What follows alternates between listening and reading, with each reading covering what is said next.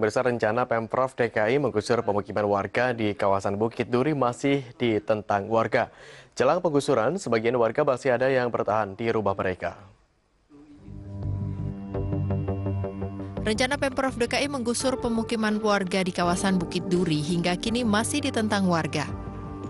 SP3 belum juga dilayangkan, belum ada alat berat yang diturunkan, dan warga pun masih bertahan. Surat peringatan ketiga seharusnya diturunkan pada 14 September, namun hingga kemarin belum juga diturunkan dari banyaknya penolakan yang dilakukan oleh warga khususnya di RT 6 ini, mereka menolak untuk dipindahkan atau direlokasi karena mereka menunggu hasil sidang gugatan yang ter, yang mereka ajukan pada Pengadilan Negeri Jakarta Pusat. Bisa terlihat di setiap rumah-rumah warga yang berada di RT 6 ini terlihat surat-surat gugatan yang mereka ajukan kepada pemerintah DKI Jakarta khususnya bagi pemerintah administrasi Kota Jakarta Selatan.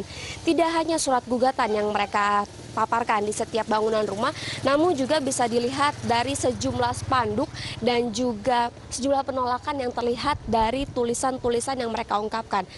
Penolakan ini dilakukan karena proses penggusuran ini sangat tidak manusiawi dan tidak sesuai dengan keinginan warga Bukit Duri dan juga proses ganti rugi yang tidak sesuai dengan lokasi atau rusunawa yang disediakan tidak sesuai dengan bangunan yang mereka inginkan.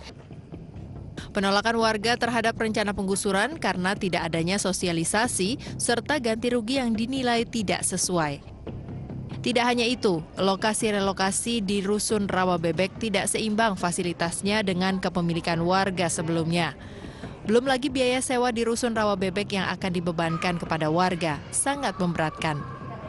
Seperti diketahui bahwa Pemprov DKI berencana menggusur pemukiman warga di kawasan Bukit Duri untuk melanjutkan proyek normalisasi Kali Ciliwung dan menanggulangi masalah banjir yang kerap melanda kawasan tersebut. Reni Anggraini Andika Dwi Hantoro, MNC Media, Jakarta.